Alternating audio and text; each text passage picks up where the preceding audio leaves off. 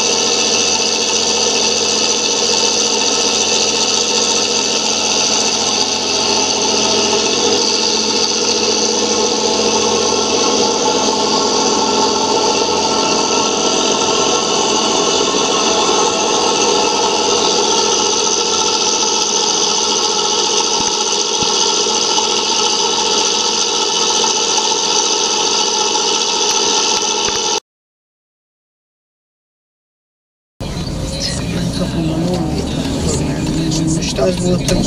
Vagy levizsgáztatom, vagy féket csináltatok.